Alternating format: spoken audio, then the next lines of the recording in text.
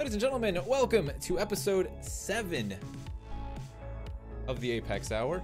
And this is the E3 special, the E3 extravaganza. That's one of those words you feel stupid when you use it, but I always want to use it and I never get to use it. Extravaganza. Now's the time. But now is definitely the time. I feel like if you're going to use extravaganza, this is absolutely the time for it. So we're going to be talking everything E3. We're going to be taking a look at some of our most anticipated confirmed games. Obviously, outside of the games, we have the potential for people to bring some hardware announcements. There was also some stuff that kind of already happened today. So I guess we can talk about some of that too, because that's kind of all a part of it. And uh, yeah, it's gonna be a big old, big old E3, just craziness. We, it's, a nice thing, right? We have like three of us who all actually still get excited about E3. I feel You know like what's kind of interesting to me? I feel like E3 is spreading, right? It used to be you got these couple days of press conferences and then you got the show floor. But now and now and now it seems like people are there's pre E3 announcements, there's post E3 announcements. It's like E3 just doesn't stop in the summer. You know what I mean? I think it's like E3 itself is kind of dying, you know, actually. I always see like the industry people talking about that, like how like it, like E3 as the actual convention is basically just being torn apart by everybody doing their own thing. And I feel like maybe in a few years we just won't even have like we won't even call it E3. It'll just be like game season or something. I don't know. You know, right. like I wonder if it's just going to turn into like a, a trade show for consumers and all the industry stuff is just going to do their own broadcast and Twitch streams and control their message, the length of it. They're not reliant on a slot, you know, within Microsoft's press conference. It's like, hey, why don't we just do this from our studio and save tens of thousands of dollars? Yeah, the money side of it's got to be insane, man. And I know a lot of them just like you know they rely on just like volunteers and stuff, and it's like, or you can just yeah, just stay stay at your office and just make make trailer announcements, you know, like I mean, you saw like I think during the Bungie release, I think they were touching like a hundred thousand, something like that. You know, and that's just like the Bungie community. If you know Sony or Microsoft's going to say, "Hey, we're skipping, but we're just going to do a, a live thing like that," you know, they're going to get hundreds of thousands of people that just tune in from home, and they can control it all on their end. That's where I see it going. yeah, I agree with that. There's no reason to. I mean, people like if you're people are excited about this stuff regardless now. You know, it's not really. I mean, we're definitely well beyond the like you know niche thing. Like that's done and over with. Like you have people who like love to follow games, and you know they're gonna be there on Monday when Square Enix announces that Avenger game, even though it's not like technically during E3. And the same with you know anything else that happens like outside of EA, you know, or, or E3, even EA. You know, just being like, oh, just do EA Play. Like you know, we'll just do our own little thing basically at E3, but make it our make it something else. So Right. I guess speaking on that, right? I guess we could touch on some of the announcements you already got like today. So Stadia came out and revealed its like Founders Edition, also its two pricing models, one of which isn't going to be available until a little bit later on, the free version. Um, I don't know. I, I mean, it seems like there's a market for that, right? I know, Cownt, you were asking people about that. I've seen some people like Rami Ismail. Rami was talking about it. He, you know, seems into it. I feel like if you travel, I like the idea of the free version. Let me just, I guess, let me say that before I'm like, I don't care about the other version. But the free version, the 1080p version, to me was like, that makes sense because I could see myself using that like when I'm away, I'm not at my PC, you know, just 1080p gaming, like just to hop on. Even like, you know, speaking of Destiny, just like, oh, Xur's here this weekend and I'm like away from home. I can just hop on my phone with my Bluetooth controller, go to Zer, buy the stuff and leave, you know? But the paid version, it just doesn't fit like, I guess, my current gaming space.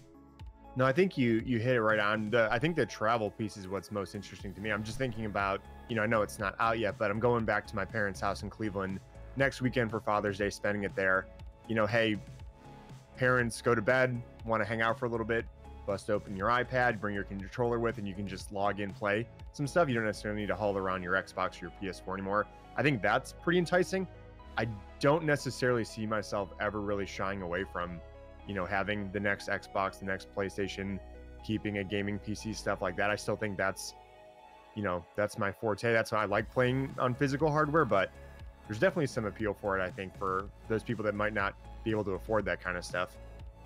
Yeah, part of me like gravitates toward what you just said, where it's like it's more of a the optional thing for you, but never the main thing. But I think that's just because like we're not, you know, maybe we're not that casual audience that perhaps Stadia is trying to like tap into. That you know, that audience that maybe buys one version of one console like every 12 years you know they they bought the xbox one like s- two years after it released you know maybe that's the audience who says oh i don't mind a 9.99 you know subscription and then I got to buy the games anyway. To me that just like that was like the big thing that just comes across like a huge turnoff. It's like, oh, $9 a month. You do get some free games, but you also have to like buy the games and then if I ever run out of subscription, I have to use the free version which is only 1080p and I'm just like uh yeah. and uh, you know again maybe if i was in a position of like i could only afford one console that would make more sense but like sitting here with all of the consoles and you know a gaming rig it's like yeah it's just kind of more the travel thing than you guys anything else. remember OnLive? on live yeah hmm there's actually an article So in I- game informer about it this month Did you guys own? No, I never No. did. Dude, I would. i don't even know how So- much it was Dude, I was I I kickstarted it day one, owned one of those things because I was in that position. Like when at the time when that thing was coming out, um, I was always really interested in PC gaming, but I never owned a PC capable of doing that. It was like I was, I don't remember if I was in, I can't remember the year on it, but whatever it was, it was like I didn't necessarily have like the funds to be able to go out and get a gaming PC, but they had the same promise, right? It was, hey, locally you don't need any gaming hardware, you can play the most current games at nicer specs than what I was able to do. And I remember buying that thing and I was just like I think the hardware or like the service worked, but a lot of it fell on your ISP. If your internet hiccups or you're have old, you know, infrastructure in your neighborhood or your apartment wherever you're living and that can't stay up, the experience of when you had to, you know, experience a buffer or the screen to get all pixelated was awful. And I'm really curious on how they're gonna how that how this thing is gonna perform. yeah if you go on so if you go on their website they have like a recommended chart and you can also do a speed test um, Mhm. for like the variance you're gonna get. I had the tab open and I closed it. Give me a second. because like Um, I, I n- I nailed them. i mean those speeds are like obviously way lower than like what you know what i get. I should be able to meet them. It's just like the random hiccup or like that little packet loss you might get for a, a split second you feel it 100 times over when you're in the middle of a game and your game just pixelates out of a sudden. It might be just instant but it's a real annoyance and one of the Yeah, I things i, hated about OnLive Think about watching Netflix, dude, or YouTube, or anything. Like it doesn't matter how like good your internet is. I've got gigabyte, and there'll still be days where I sit there, I turn on Netflix, we start watching a show. Hulu's like even worse for it, and for 10 minutes I'm watching like 720p on a 4K TV, which looks terrible. You know, like like you said, it's and it just makes me think you're playing Apex, and all of a sudden, hump, a little quick buffer, and you just rage because something that you know your ISP throttled you for a, a second, and you lose a fight or something. I just that's the stuff that makes me nervous, and I think that's where maybe I'll jump in on the free version, test it out, and then maybe decide to double down on it. I'm not sure. Yeah, that's where it gets confusing too. So we're talking about like more of a casual audience, right? Appealing to this, but does the casual person even care about their internet speed? I mean, I I have family members and friends like that who literally still have 10 megabit internet. And for 10 megabit, which is the recommended minimum, you get 720p, apparently 60 FPS. So they must always push the frame rate over the resolution if that's what's going to be, uh, and stereo audio. When you get up to 20, you get 1080p with HDR, 60, 5.1 surround, and then apparently 4K only requires 35, which I don't. Those numbers just seem kind of dubious to me, because 10 megabits is like bad. That's like yeah. and not to mention minimal. too, you're talking about like multiple people in your house potentially using the internet. You know, like we don't live a day and age where one person is using. it. If you live in a, a house with multiple people, you've got you know Jane on her iPad and Billy playing Fortnite and mom and dad watching Netflix. It's like, Right. You know, I think only your most hardcore going into your router and like setting priorities on your devices to make sure you're getting it. Yeah, I, that's I never really thought about that, but yeah, the casual people that they're appealing to are probably going to be the ones most affected by it. That's interesting. so yeah, I guess we'll see with that. Um, inside of the Stadia announcement was the Destiny 2 stuff, which I think is pretty pretty special. There was like a lot of it was just that was a really cool announcement. I think a lot of us kind of looked at Destiny after they left Activision. We were like, you know, are they going to just like go be the Bungie that we've always wanted them to be? And the entire reveal today seemed like that. I mean, they like even took shots at you know the way that they had to do things in the past, and like like we were just talking about, you can now go onto Steam because they're just gonna trade it over to Steam. They're leaving BattleNet, and you can already pre-order Destiny 2 with the new expansion, with Warmind and Curse of Osiris, plus the season pass for thirty-four dollars. It's like, hmm. the future of Destiny for 40 bucks. it just seems I don't know. That just seems crazy. I don't. You guys aren't. You guys played a little bit Destiny, right? You're not. You guys were Here and there. Here and there. Yeah, It's more I of wa- a Destiny one for me. Same. Yeah, I wasn't a huge fan of Destiny 2 and just been into other stuff to be honest, but I, I did I did watch it and I like the direction they're going. Was was happy to see them like I was happy to see like old school Bungie, you know, not like Activision controlled Bungie. That was nice. Yeah, I mean, it, I think it's pretty clear that like the changes they made at the beginning of Destiny 2 were driven by, you know, business of like how many Mhm. people can we get to play our game. You know that that short term like really silly business mindset too that all these big publishers have of like how many people can we get to our player game for all of three days. Not like you know how are we gonna sustain a good audience for the next like ten months? Just like no, no, let's just make it like really accessible and easy, and then everybody you know stop playing the game. Obviously, after like three months, Destiny 2 was like in a pretty rough spot and Bungie kind of just held on and slung their way through and then dropped Forsaken. So yeah, I'm like really excited. It was cool too to see them, like, dude, never in the past, like under any of the publishing houses that Bungie's been in, have they ever really been able to show off like super early work in progress stuff.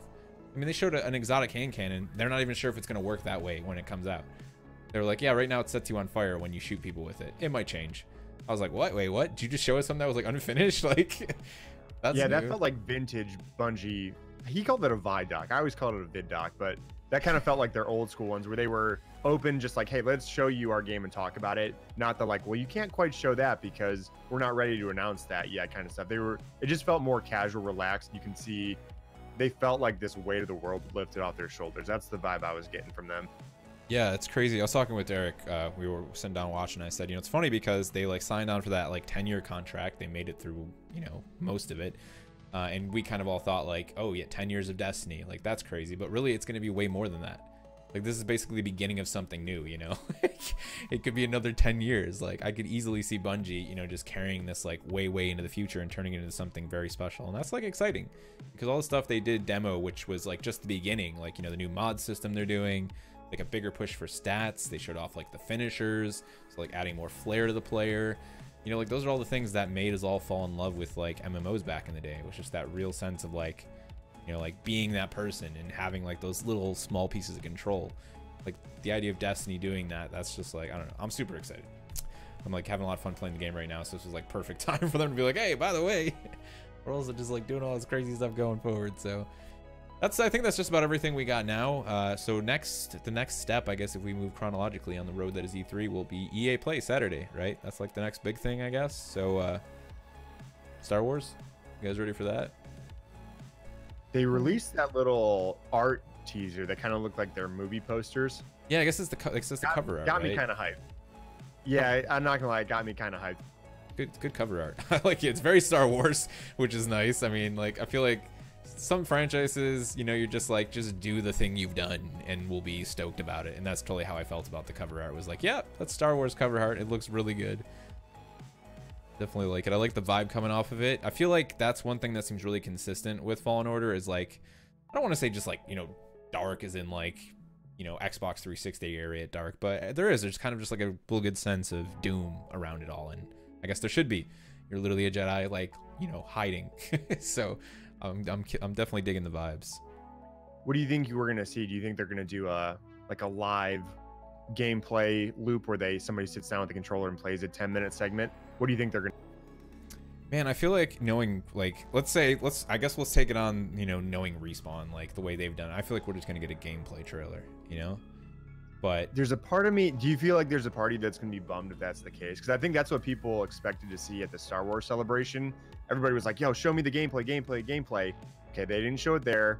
I think looking back, probably fine, right? They announce the game, they get some of the logistic stuff out of the way, introduce the characters, so that at EA Play or whatever they're going to show this weekend, they don't have to do that stuff. It's like, okay, we already know what your game is. You've already set that context. My head just goes to like, okay, now show me a slice of gameplay because I think that's what's going to get people hyped. And if it's just like a flashy trailer or something with like gameplay snippets, I feel like people are going to be bummed. I think it, I think unfortunately I think I feel like it's gonna be disappointing. I feel like they're gonna do the gameplay trailer, and then what's gonna happen because this seems to be the way that EA handles EA Play, unless they change ways, is there'll be behind the door gameplay demo, and we won't get to see it for another month. That's you're just gonna have some suit come up there and tell you about how uh, Yeah. they're gonna use a bunch of buzzwords about how epic the gameplay is, and you won't see it. That's what happened with like Anthem last year. They demoed it behind closed doors and then they released it like later on. Uh, you know, they did it through like some of the creator stuff. I don't Yeah. I don't know if there's anything happening with game changer stuff. Um, you know, like via via Fallen Order because it doesn't really fall in line with like any of their previously established brands. Um, but that doesn't mean that they couldn't have people like you know like Jack Frags. He's like probably one of the biggest game changer dudes. He gets like every game. He got to do a lot of Battlefront 2 stuff. There's also a few Battlefront 2, uh, you know, like streamers, content creators. So maybe they'll get pushed to see it. But I mean, unless they just change the way they do EA Play, which I think they should, because I think EA Play is terrible. Like, I get the idea that like you want to have the event and people go to it. That part of it's fine, but like the media end of it, where we all get to see this stuff, is just awful. It's exactly what you said. It's like you know they do like their you know we watch Madden for 45 minutes. Some dude comes out on stage who I don't even know, and not because I completely ignore sports, because he's just ran- some random person they like happen to get. And then they finally show you know like 10 minutes of their most hyped game in the last like you know 10 years. It's i don't know. And- Tells you why you should care about the game instead of showing you and letting the game yeah the executives tell you why you should. really good at that. They're man they're such like that's probably like the every part of ea is like shite lately like not are they just bad business people and manipulative but their pr team has just been absolute dog shit lately like they just keep burying battlefield 5 by making really poor decisions with how they handle a world war ii game they just keep the- just stacking it on man so i have no confidence but maybe i'll be wrong and we'll actually see like a 10 minute gameplay trailer i guess we'll see So I was looking at I was looking at the list, right? So they're kicking it off with Star Wars. Um, Apex follows it, right? They've got yeah, I think then Battlefield. They're doing Madden, FIFA, and The Sims. How do you feel, Tony, about um, a game that was near and dear to your heart not being on it? And by near and dear, I mean Anthem. no apparently they're there shocked. apparently How come they're not on that list? I don't understand. Yeah, I don't know if they're. I think maybe they're not necessarily showing anything to the public. I think they're just showing stuff behind doors because they already made their PTS announcement. So I think everything that could be out in the open about Anthem is now out in the open. Uh, they're like Ah, their okay. PTS is live now, and there's some promising changes in there. I think they still have a long way to go, and they're aware of that. And they just decided like let's just do the PTS and have the people come along with us who want to.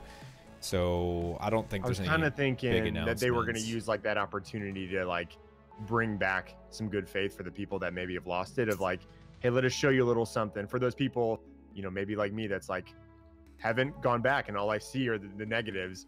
I, you know, I wasn't even aware that that stuff was out on their PTS. So it's like, Yeah, they just I they feel already like just people released like me that like come win me back. You know, they did the whole like they have the cataclysm out now which is cool again i just think the problem for them is like you they're past the point of winning people back by just showing new content because no one really no one really even if somebody says they left because there was nothing to do content wise it's not you just left because the content that was there wasn't replayable you know like that's their weak spot like the reason destiny was able to survive in my opinion was because the game was still fun to play. like shooting stuff in Destiny is like phenomenal. There's a Yeah. small part of that in Anthem. Like flying is amazing and like but the the loop isn't there, you know? It's just not complete. So yeah, I don't know what we're gonna see at EA Play from that, if like what announcements they can make. I just I can't imagine them having anything to make. Like we just know how long it takes for them to develop stuff in Frostbite. So that's kind of a bummer, unfortunately. Yeah. Bums me out a little. it just needs more time. I think it's just one of those things where if anything's gonna, ha- if anything can happen or is gonna happen, it's gonna still be another like four months, five months. You know, it's gonna be, it's it's very much a No Man's Sky. like No Man's Sky took a long time to like get really good again, and it kind of happened slowly. And then they had that big like, okay, we did all this cool stuff, but now we're doing this really cool thing. I kind of feel like that's what they need to do, but uh it's gonna be hard for them, like with. You know, They've you have- got an uphill battle for Eh, sure. And plus, like, they're going against the exact people that, you know, the management team, when they first started the project that was Anthem, told them that they shouldn't try and compare themselves to. Like, did, you know, somebody somewhere at, at BioWare was like, yeah, don't look at, you know, Diablo. Don't look at Destiny. And it's like, well, actually, like, what do you think people are going to be thinking about this September? You know, if you release any content for Anthem, they're going to be thinking about the fact that Destiny is now $34.99 and has all these crazy new RPG elements, you know, like it's like yeah, they- they got a lot to fight for, fight against for sure. the last part um just thinking about that's near and dear to us is um right what do you think uh what do you think we're gonna see teased for eight. For Apex, yeah, that's right. We got the. I mean, it seems like they're gonna maybe do even more than a tease. It kind of comes across to me like they got some big announce, like big season two announcement to make for Apex. Maybe new map. Their hype always has me worried. I know OP. We always talk about this, Mhm. but they're like the masters of teasing and like for whatever reason, and maybe that's just because we we crave and want their stuff so good, we enjoy their stuff so much. But they always come out swinging like, "Oh man, can't wait! If you guys think that this was cool, wait till you see what we're working on." And then for whatever reason, like they always seem to come out a little bit flat. And I don't know if that's just because our expectations are so high for them, and maybe what is out there to everybody else is like really cool, but we just don't see that. But I'm always a little bit nervous when they start hyping, and then we comes out and she's like, "Hey, here's a new legend." Like, okay, thanks. You know, I don't know. What do you guys think? Yeah, I guess it's hard, right? Like to. I mean, you always want to like hype whatever it is you're gonna release. That's just like, I guess you know, like marketing 101. Like you don't want to like just come out and be like, "Eh, we got this new legend," but I it At the just same time, like these little teasers of like, yeah. "Oh, you just wait. It's like, all right, when you phrase it that way, it makes it think like you're gonna just drop some huge thing that nobody saw coming. I think You I, know what I mean? That's why I think in that case it's better to not say anything. I know like the community always wants, well, just tell us like something. It's like, yeah, but what if the only thing they can say is just wait? You know, it's like, so yeah, I don't, I don't know. I think that definitely puts them in an unfortunate position. I mean, I'd like to think at this point, considering how much time has passed, that like with season two, they're not gonna just, I don't, I just don't see them just launching season two, like season two, new legend, that's it. I can't see that. Like I feel like Remember new legend one of the map. posts, yeah, Jay was teasing like, didn't he say something in one of those like patch notes that he said you wouldn't think that the map would stay forever, did you? Or some sort of like wouldn't he stay the same forever. that way. Yeah, he did. I could see I them gotta imagine they're showing that. doing an won't- overhaul for the map. You know, I feel like I that's have a a good feeling we're gonna point. see the future too. like a peek at it, right? Like, yeah, What are you thinking, OG? I think it's gonna be a very like cryptic teaser with just like little snippets like they've been doing with a bunch of different things they want you to throw together and be like, okay, I see what you Like guys. that Are... little Wattson tease they tweeted. Yeah, yeah, little shocky, shocky, shocky character. I That could looked see that for sure. Yeah, I mean, I just see like season two announcement, you know, like trailer for season two, new character Wattson, you know, with season two, and then like you said, like if season two comes with, um, you know, the map getting overhauled, I feel like that would be something you would definitely show at E3. Um, but then beyond that, yeah, I think it would make a lot of sense to like talk about, you know, what's beyond that, like in terms of events, you know, like limited times events, So even. Yeah, and here's what my taker. Not that I'm nervous about this, but I think this is the time, and we talk about this a lot. That I'm not necessarily asking Respawn to go out there and start tr- transitioning to this Fortnite model where we're getting something every single week. But I think for the most part, right, when this game launched, its numbers were you know astronomical. We had 50 million players. It's the highest game on Twitch, and then you know, okay, dies down a little bit. Season one's coming out. That was their opportunity for the battle pass to show you what they're working on. And you know, we've chatted many times that it was pretty lackluster, nothing too exciting there. And now, okay, time for them to remedy that. They're at the time of E3, the biggest stage in games for the year. I think you're right, OP Tech. They need to come out and tease or somehow set expectations of what's to come. Because I think Mhm. this is that moment, like that make or break moment. If they fail another season, this game is going to have been out for, you know, six, nine months at this point. I think you're breaching that bridge of like, if they want to keep this game as popular as it is, this is the time to like bring those people back that are losing faith. And it, like I said, it doesn't have to mean that they're releasing something every week, but I think this is like, okay, you've got the stage. Like, don't screw this opportunity up, you know? I have I have a feeling like th- this is just me this this is me theory crafting right? So uh, was it yesterday or the day before it was announced that that Apex is going to be at the ESPYS and Yep. there's no way that they're going to ha- have their competitive format where you're just running into public lobbies and stomping people. Like I feel like custom games are coming with season 2 I, I just can't I can't picture it not having a proper format Yeah, it's hard because every game already does that, right? Though, like mm-hmm. they just like play with like shitty formats, and I'm always like, oh, but it just make, it makes money anyway because it's one of those things that doesn't even have to be good. Like it's it's like a football which is like the worst game like ever to actually play competitively, but it didn't matter because everybody was like football, yeah, watch me floss, bro. Like it doesn't matter. You know, it just sells like hotcakes, so people can just play like this awful to watch competitive format. And yeah, I don't know. It's like even I guess if they had custom games, I'm still always like, how do you even make competitive BR? Like, do you just make it so like everybody shows up and they all compete? Like, I mean, PUBG's done that in the past with their custom stuff. I think so. I think the PUBG one was interesting to me to watch more because if if it's popular enough, right?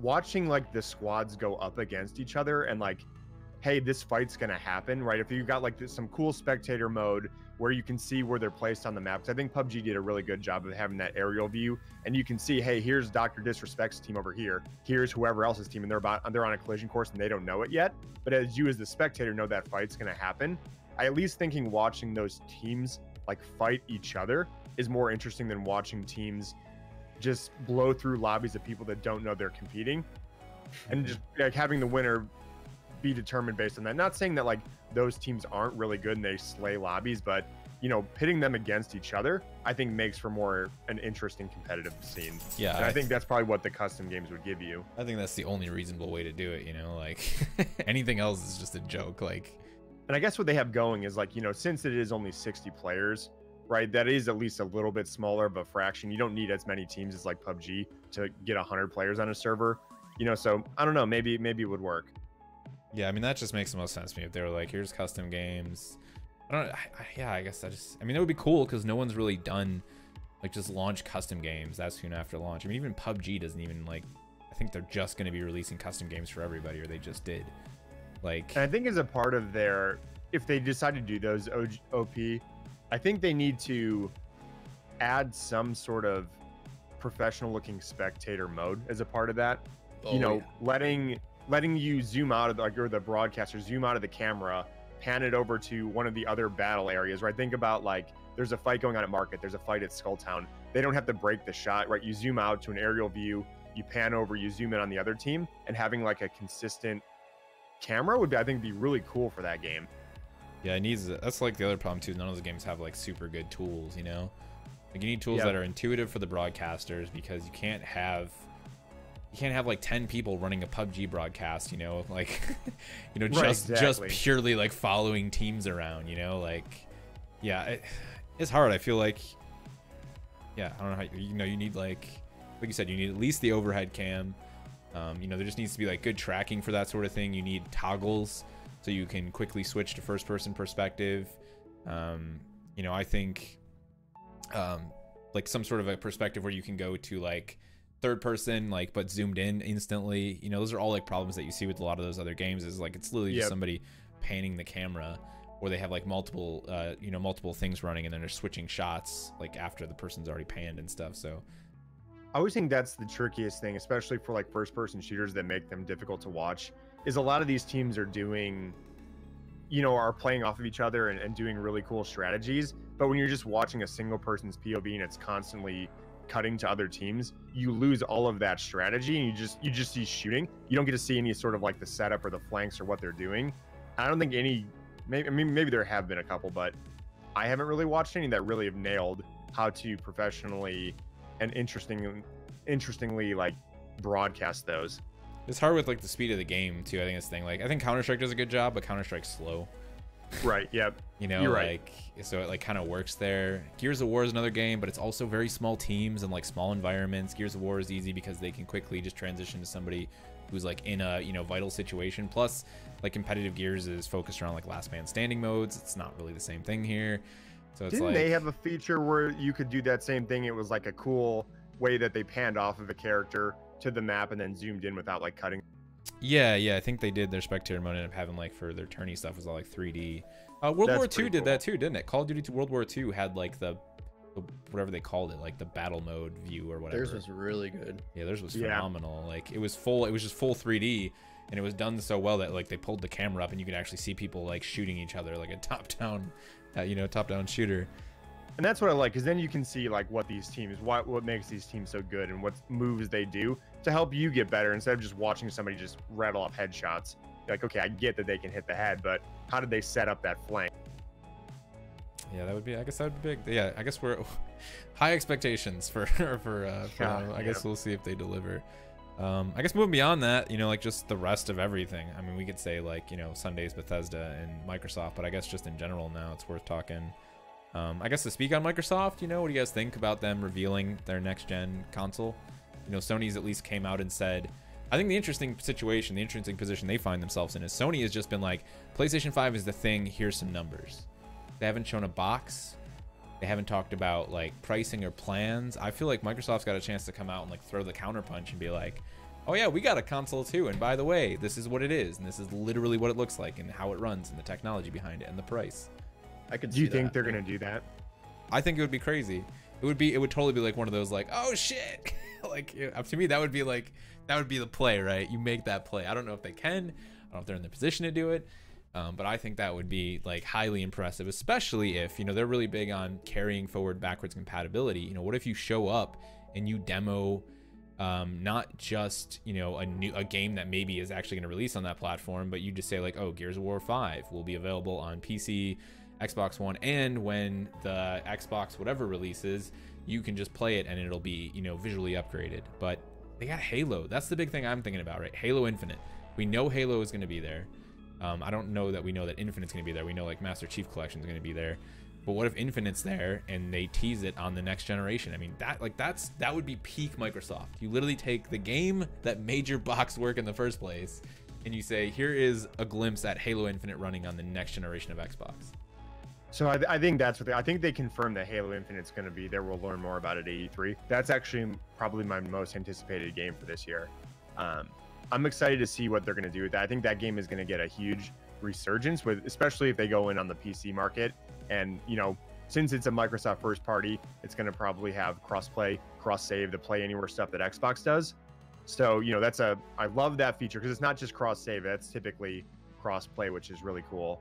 And yeah, I'm excited for that one. I think that one's going to be They're doing Gears Um, 5 on Steam too, you know? I kind of feel like at this point. Microsoft's just saying like, yeah, we're going to do crossplay on Windows. We're going to do crossplay on Xbox and we're going to do crossplay with Steam. We're just going to tie it all together and like now's the perfect time for it. Like let's just do it. I do like the the direction they're heading. It seems like that, you know, they're the ones sort of pioneering and pushing for that. We'd rather sell you our software and you kind of play it how you want. You know, obviously they're in the hardware business too, but it seems like they're the first ones that are starting, at least of like the big, you know, the big two that are starting to embrace. Yeah, I mean, it seems like the acknowledgement that like people playing games on Steam isn't a bad thing because they're probably playing on a Windows console anyway, on a Right, Windows yep. platform anyway. You know, so it's like let's just let's just do it there. So yeah, I mean, I don't know that we would necessarily see a date from them if they talked about it, and maybe we wouldn't even actually see. Um, maybe we don't even see the box, but I think just even showing Halo Infinite and saying this is Halo Infinite running on the next generation of, of Xbox would be enough to be like, that's a hardcore teaser, you know? That'd be Yeah. dropping a bomb, like to me. So I guess to me, a lot of it depends on the timing because I could see right if if this box isn't holiday next year, I think from in terms of like their E3 show, they probably want to stagger it. So I could definitely see them coming out showing, you know, very Sony like, here's what our box can do. Here's some specs. It's backwards compatible. And then next year is the name, what it looks like, the pricing, because then that's the tease for, oh, by the way, it's out in three months. It comes out this fall. Yeah, I guess it you know what I mean? because they have they ever really revealed a count like when what is the window I guess for most next generation reveals been like? I can't even remember at this point. Is it usually like E3 and then it's out in three months, right? That's usually what it is. I think I think so. Yeah. I almost always remember like E3 pre-order. Okay, I get it in three, four months or whatever. Yeah.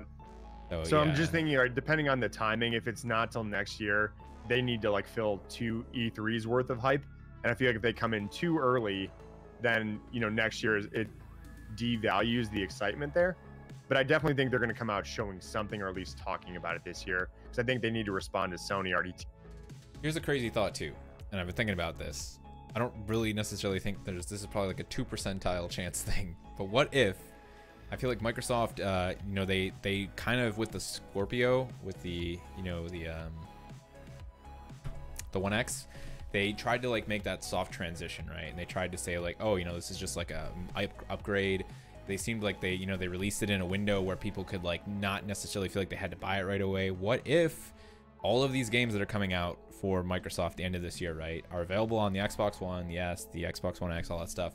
But what if they released the next generation of Xbox this year as like a slow thing and said, but if you want to play those games and have them look even better, like here's the next generation of Xbox. Like you can still play it on those old one games, and then maybe they have one exclusive like Infinite, you know, that gets not maybe released on that platform, but just announced. Like I don't know that that's like a solid business strategy. I feel like everybody always wants to launch a console Mm-hmm. with like some you need to buy this game.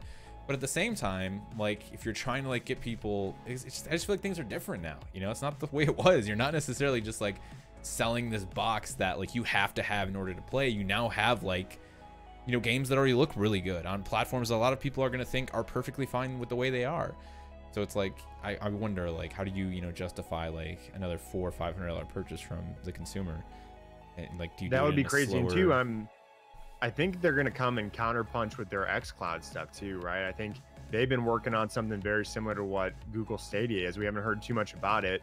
You know, I know that they're working on that. I wonder if they're gonna, you know, very similar to what you're thinking, Tony, is like maybe that box doesn't drop, but hey, we've got a cloud service too, we're doing the same freaking thing that Google's doing. But hey, we've got Game Pass. We've got all this other stuff that could just bury them because we're giving you a library of hundreds of titles Right, and they just that Google doesn't have right now. the PC Game Pass, right? So if they just did like a bundle thing where it's like it's just they unified it, right? Like here's just here's Games Pass.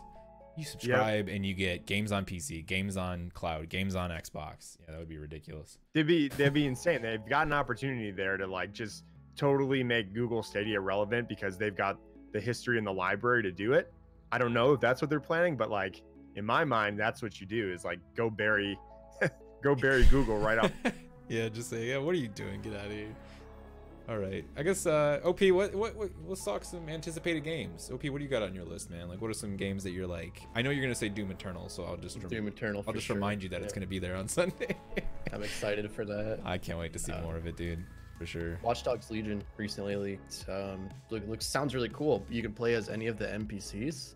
Yeah, it's gonna be interesting. Um, like the I don't I don't understand where they're going with it, but I, I I'm like already on board because I liked Watch Dogs 2 a lot. I thought it was a really good game, and I just like I like the like London seems like a good setting for that game. too. Yeah, it you just know. feels like it. Go ahead, Mhm. Connor. Yeah, I, ju- I- yeah, I agree. Like they're doing like the whole post-Brexit kind of like I feel like you're pushing into like dystopian type environment. Then you can get kind of dark with it, and you know, I feel like Watch Dogs 2 was like the lighthearted take on, you know, like little small like rebellious organizations.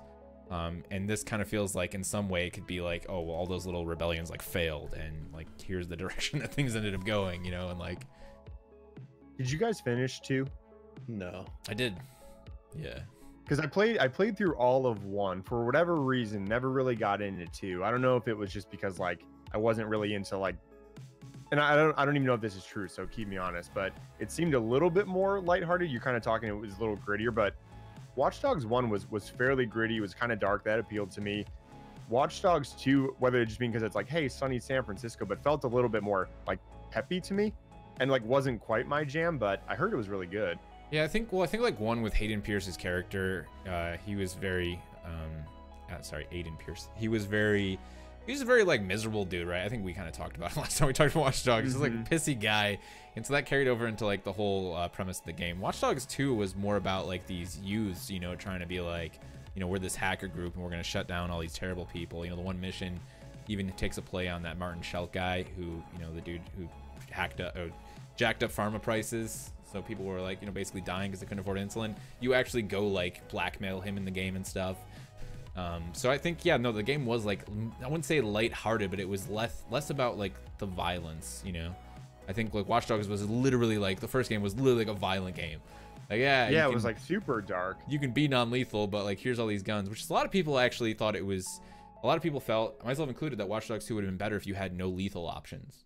The game actually gives you a ton of non-lethal options, and it makes a lot of sense, like because the characters you portray are like they're hanging out in their like sneaky hidden hideout in the back of a coffee shop, you know, where people play tabletop games.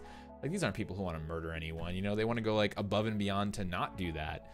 And that was like the one weird thing Watch Dogs 2 did, but like the first gun they even give you in the game is non-lethal.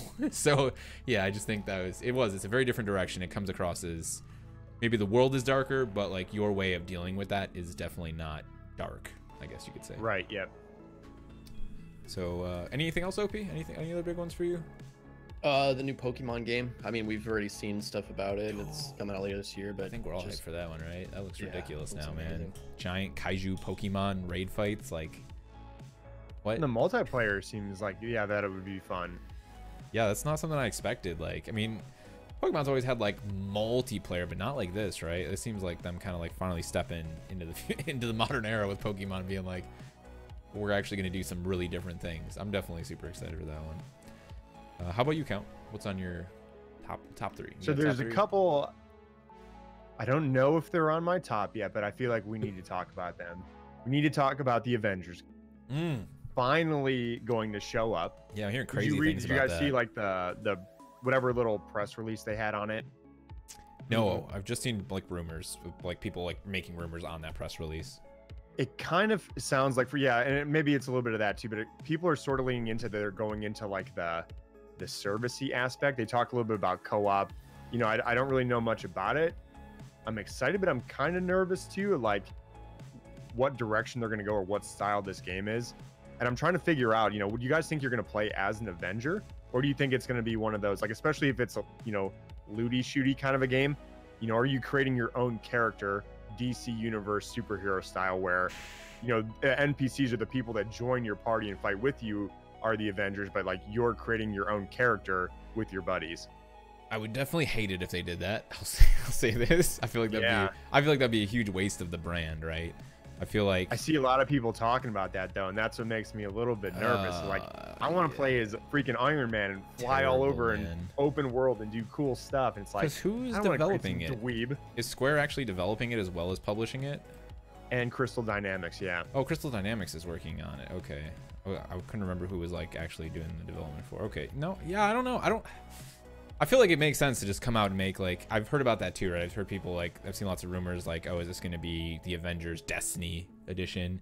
Yeah, you know yeah. and i was like i mean i feel like it makes sense for it to be it's absolutely going to be a live service game let's just get that out of the way there's no doubt about it i mean you've got a massive license and the people who the people who you know own that license who are licensing it out to those teams are definitely like we gotta make as much money out of this thing as we can like exactly. you know yeah. i guess it's a matter of like what was crystal and like any other teams that work with them on it able to do on what was probably some pretty strict guidelines of like people need to be able to play this game for the next 10 years type deal right I'm trying to think about like cosmetics and stuff. Like, I mean, can you go and deck out Captain America and give him goofy looking cosmetics? Or, yeah, maybe you can, but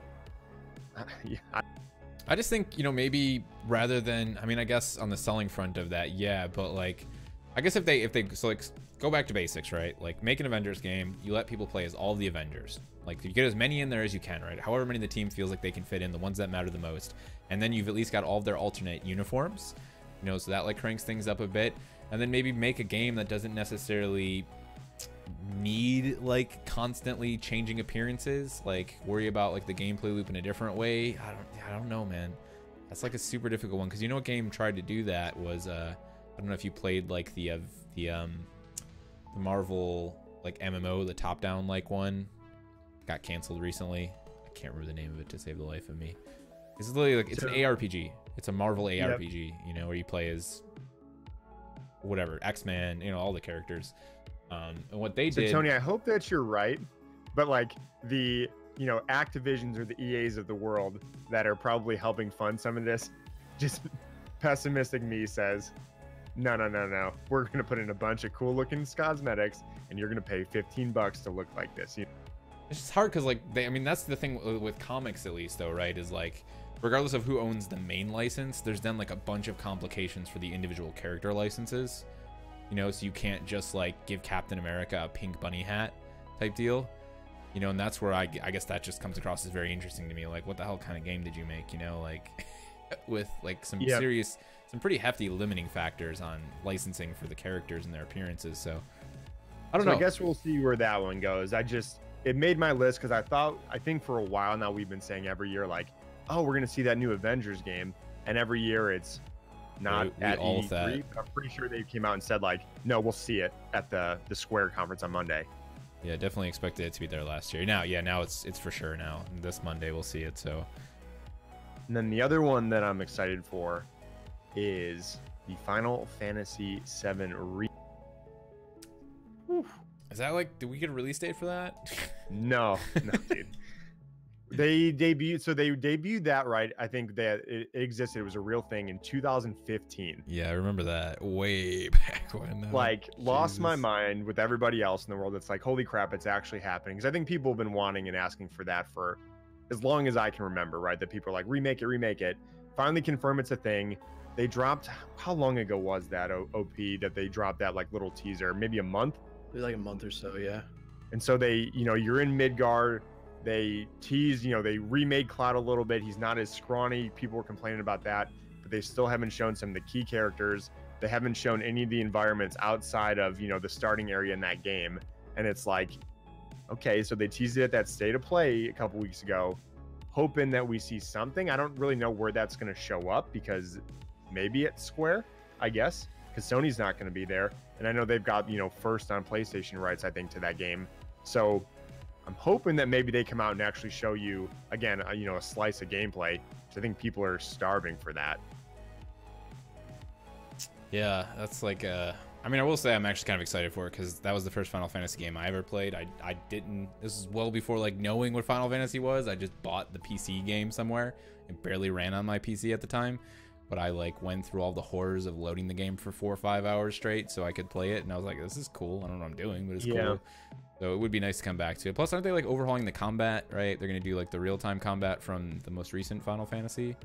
Are you that correct I think it's like a cool hybrid mix, yeah. But I think there's a lot of inspiration from the like the Kingdom Hearts battle style, the newest Final Fantasy, and it'll probably be a little bit of vintage something. But like, you know, OP, I don't think we've seen a summon yet.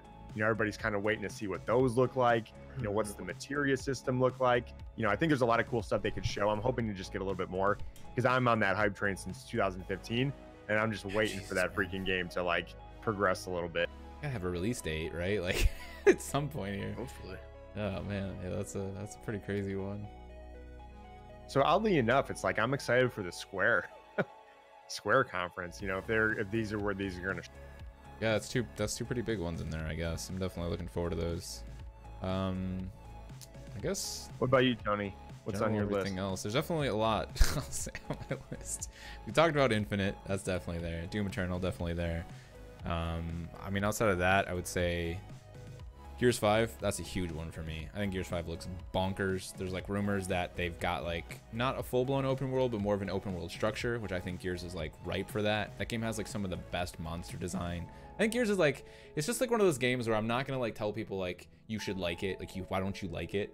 But I still think it's super underappreciated and underrated. Like, can you name a franchise that has come out and produced like if you really just look at the monsters that have existed in the Gears game since the original game, they've got like more monsters than most like you know anime games ha- like anime shows have right? Like over the course of their entire existence like every game they make some new crazy monster that has some great gameplay mechanic. And like i just think that's super impressive. So i would love like a somewhat open world from that. So i guess we'll see where that goes. Super stoked in I the was, story yeah, I was just talking that. to a friend yesterday about it actually, and we were having a discussion on why Gears isn't more popular than it is.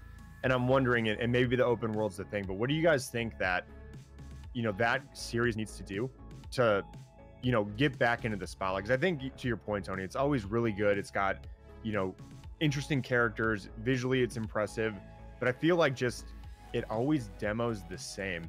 You know, it's just the same Gears, but like another one. And I'm wondering what they need to do to mix up that formula or like take that next step forward. Yeah, I mean, I kind of think it's just gonna be it's gonna be one of those games that maybe never gets big, right? Because I think everybody, a lot of people who play the like the campaign play it, and that's why it always sells well.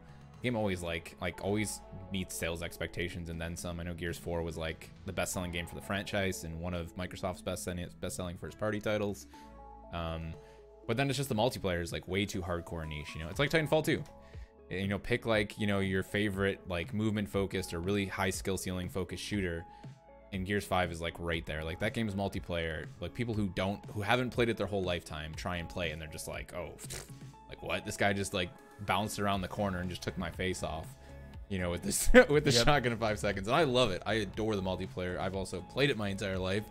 So i'm just kind of like leave it as is. Who cares if it never gets massive type deal, you know? Because that would mean I think See, that, my thought is I think they could take horde mode and evolve that because you're going to have your campaign people. You're right that are just want to play the campaign. You've got your hardcore multiplayer people that probably don't want that to change because it's got a niche there. But I think like the horde mode or some sort of your competitive or cooperative space, you know, maybe that goes into the open world. They expand that, they make that a little bit more interesting. I think that's where they've got a little bit of area where they can, you know, take it into the next gen, you know, show off something impressive.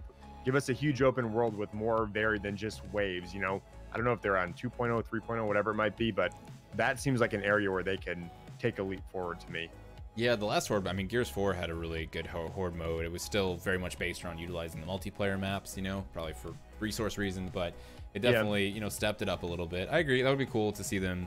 I mean, I guess it would be cool in general to see them, you know, like evolve some sort of a mode. Like they did Horde mode, that's cool, but you know, in the past, and yeah, just things... like outside of the multiplayer maps, maybe you know what I mean. Like yeah. here's something specifically designed that are really fun to do Horde mode on. It's not just hey, go play it on the same multiplayer maps you've been playing. Yeah, give us something new to kind of like explore the universe a little bit more, new gameplay mechanic. Yeah, I agree. That would be pretty cool. Um, outside of that one, oh, uh, Dying Light 2, that's gonna be there. I'm really excited for that. I don't know if you guys are fans of the original game at all, mm-hmm. but this one's like just going like the whole next level. I mean, they're doing a bunch of crazy stuff with story. Chris Avellone's like doing some writing for them. But then in terms of gameplay mechanics, I feel like they're finally kind of like looking to progress the whole parkour thing, right? You know, we had like the Mirror's Edge games, they did parkour, the first Dying Light. This new system has like a bunch of advanced parkour movement systems, plus you also have like a stamina meter now. So you actually have to take into consideration like how you navigate the environment, which I feel like is something that like I mean think about Assassin's Creed, any other game where it's like you can just climb walls infinitely. Um, you know, there was no real like risk or reward to that. But that's actually one of my favorite things about Breath of the Wild is that you have that freedom of being able to climb anything, but you have to think strategically about it because you don't have an infinite stamina meter. So I'm really I'm excited to see what they do with that. I mean, Dying Light was just like super underrated game with a pretty shitty story. So hopefully this one will have like a really good story and kind of take things to the next level. Uh, I think that's kind of like I think we kind of crossed over into everything else I was super stoked for. I'm trying to remember if there's any other things. I have were... one thing more I have to ask you guys, and this is like a just. Are there any things that they could do at E3 this year that would just make you be like, "Holy crap, I'm stunned"? Not just like, "Oh, that's really cool, I expected that," but is there anything that could happen that would you just be like, "Holy crap, I thought I'd never see that," or, you know what I mean, like that ultra hype thing that could happen on your most desired wish list? What is that thing? Just in general, you mean? Like, doesn't matter? Yeah, anything? just like if you could have what you want, what's like the bomb that would drop at E3 that you're like, holy crap, this is the best. Hmm. Do you have any of those? I mean, I guess kind of what I talked about with the Microsoft thing, right? Like if they demo Halo Infinite on the next generation of platform, on the next gen console, I'd be that'd be big enough for me. really? Okay. Okay. Yeah. I mean, Halo is definitely like, dude, if they rolled the clip right, and then we get another Halo trailer. Number one, I'm already gonna be like just oozing with emotions because it's Halo. That's like my my youth, right? But then if they're like, oh, also it was on the next generation, and you know, blah blah blah. Yeah, that would be a big one for me, I guess.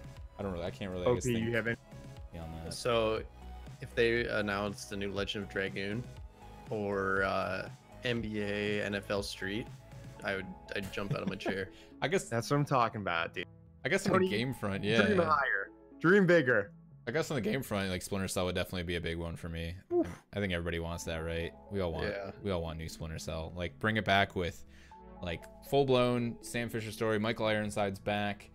Uh, give us like you know like a dynamic world that we can kind of like you know decide how we tackle the missions that are important. I mean, they did in Blacklist. They had the the freaking giant airplane, so give us something else.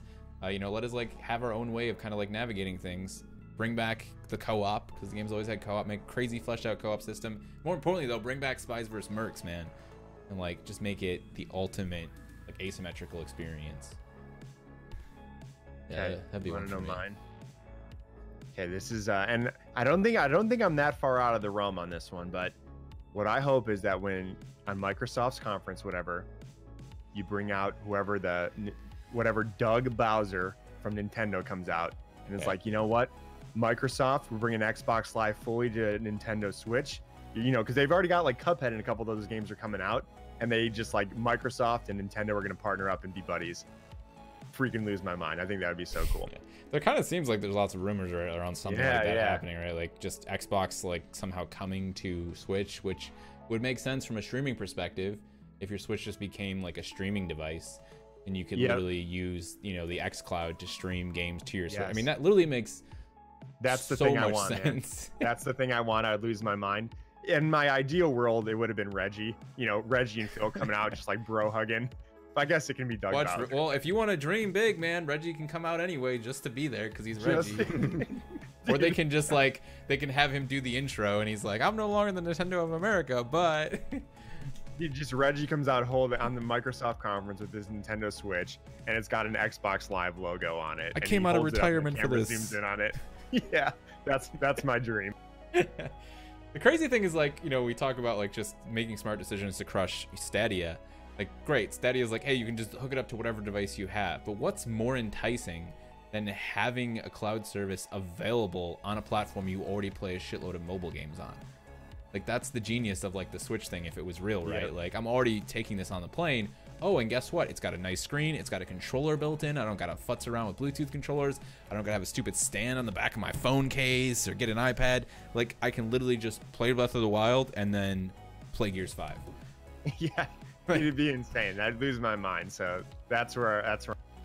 that's a good lose your mind one for sure. I, agree, I agree with that one.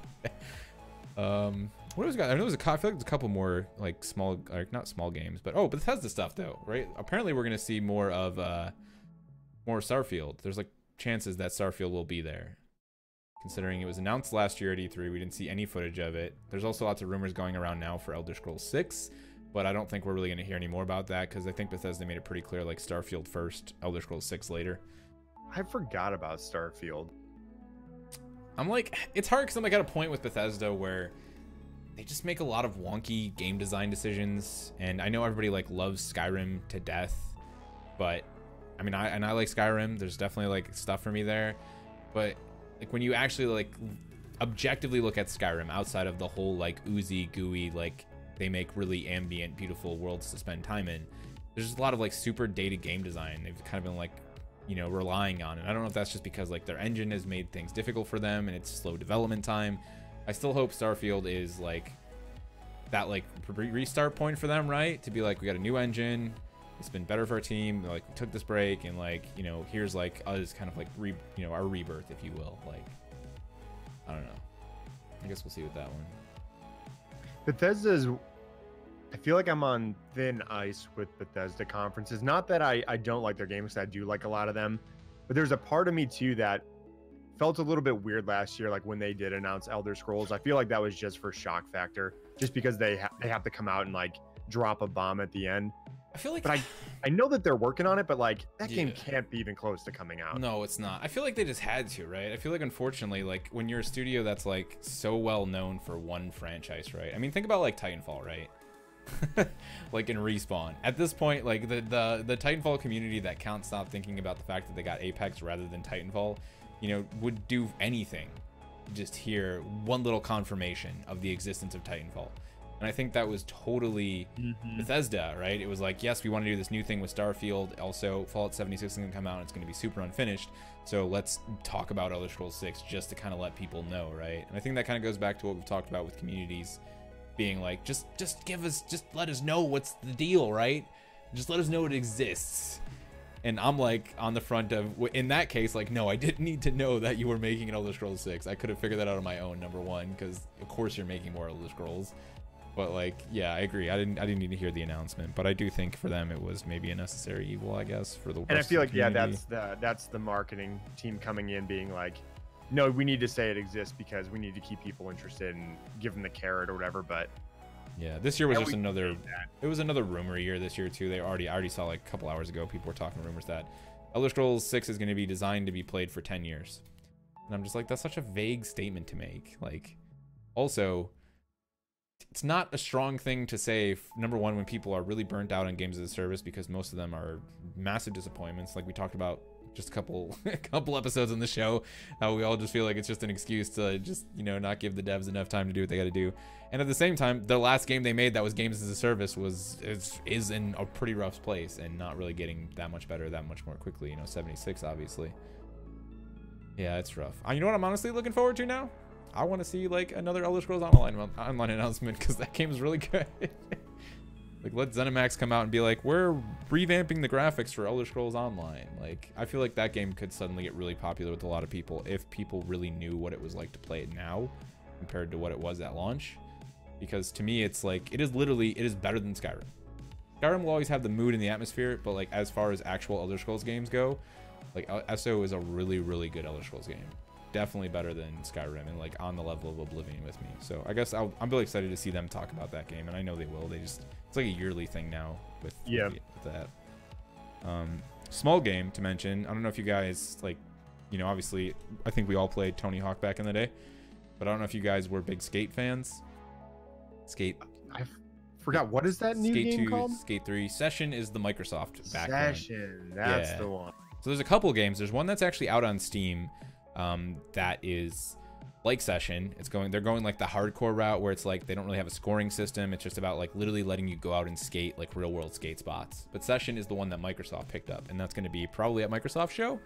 And i'm actually really stoked for that because i I, uh, I played the like kickstarter demo way back when and it's actually a really fun like really rewarding experience you know rather than focusing on like the arcade chaos of the tony hawk games um, it's like taking skate 3 to the next level by actually allowing you to independently control your feet. So you can even turn on or off uh, like an automatic foot stance, uh, foot stance thing. So the idea is like your left, um, your left trigger is your left foot, your right trigger is your right foot. But if you go into switch, you actually have to like remember it backwards because you're skating switch. Oh, interesting. And so you can turn that off if you don't want to, but I love that that's there. I love that they make like the idea of just doing a kickflip to like a tail slide a difficult thing because in real life it's a difficult thing. So yeah, I think that's one to look out for just randomly because you're into that sort of thing. It could be cool. But um, yeah, a couple other quick hitters too. You know, not not necessarily there's more that we'll learn, but I, I think they said Cyberpunk might be back this year. I yeah, know they right. were at Xbox last year. I'll be curious to see if we get more of that game. Yeah, I wonder. They said they're going to be there. Like, it's confirmed they're going to be there. I guess I'm just curious as to whether or not they're going to have like a big showing, you know, or if it's. I mean, we got that meaty, like hour long demo last year, and it's like, how do you top that? Yeah, I guess right. Just continue. To, I'd like to see more of their systems. I guess the demo to me was like a good demonstration of like here's the world and like kind of the way you'll be able to manipulate it somewhat. But the thing that I'm still most curious about that game is like I want like a better glimpse of like how I can make decisions as a player. Mm-hmm. because mm-hmm. right now it seems very like you're this gun runner type person like and that's what you get to play as which is fine but like how can i influence those decisions i mean one of the best things about playing the witcher is that you get to kind of decide what kind of Geralt Geralt is is he like a complete dick witcher who's just like i ain't doing anything for you unless you give me money or is he somebody who kind of like has a bit of a heart who's like yeah that person's gonna die in like the next five minutes if i don't go kill this beast you know and I feel like that's important in a dystopian world where like it's super oppressive and like the world's coming down, you know, on top of you, like to be able to make those sorts of decisions. So I guess I'm kind of curious about those systems. Yeah. The other one, really quick too. I know we're we're getting it towards the end here. Is I do want to see more about Call of Duty Modern Warfare. You know, I love shooters. I'm excited to see what the new engine they got going on. I heard some really cool things about how tactical this one is kind of going in the reimagining. Um, I think that's going to be a cool one. Although I'm curious where they're going to show up if they're showing up because, right, I still think they've got that exclusive deal with Sony. So do they show up at Microsoft? That feels like a weird thing to me. Do I don't really know how that have game the is exclusive gonna... deal, or is that over with now? I, I, thought they did. Maybe I'm wrong on that, but I am just curious. yeah, did. I have no idea on that. I mean, I mean, just because it's crossplay doesn't mean that their deal's done. So, but I can't imagine that game won't be there, right? Like, what can you ever think of a time where Call of Duty didn't show up at? E- no, I feel like it would make sense for them to show you know, at this point, like a, a glimpse of one of their missions, you know, single player, not multiplayer stuff yet. Yeah, hopefully some of the stuff behind closed doors that like journalists got to see, maybe they'll expose that. But I am excited to see more about that game. Yeah, I'm curious, I guess, just like on the front of the mechanics side of it more than anything else, because it really is like if you're going, I've said it before, going boots on the ground, like I feel like you gotta like you know you gotta find a way to push to your roots while also doing something new. And the idea of the game maybe getting a little bit more slow paced, not necessarily saying it's like Rainbow Six Siege all of a sudden, but throwing you know, some more tacticalness into the fray, maybe even on the level of like the insurgency games. I think would be interesting. So yeah, okay, that's that's gonna be an interesting one for sure. Uh, OP, you got anything else, man? Is there any other bits you want to talk about? Pretty much everything. I know we could we could just go for another half an hour talking about Doom Eternal. I'm definitely excited for that. It's gonna be Yeah, I'm excited. it's gonna be an interesting one. I think that's really it for the big games though. I'm kind of just like Yeah, pretty- scrolling. I don't think there's anything else that I'm really excited for. I guess I guess I'll see when I see more. Yeah, and there's a Yeah, it'd be fun to do our reactions one where we actually get to see what showed up and what you know what we're hyped. Yeah, definitely. I think it'd be fun too. Maybe if we we could probably do a whole episode just on like surprise games. You know, I know there's like some weird, some weird rumors there, like a Judge Dredd game from Rebellion. They've got a new project they're working on. Um, there's like small hints of Dragon Age 4. Also, Baldur's Gate 3 got announced. The team who worked on uh, Divinity is doing that, so that's cool. That's pretty wild that that game exists. Yeah. Yeah, that's just nuts, man. I'm excited for that. But yeah, I guess we'll see. We'll definitely uh, come back and talk about it.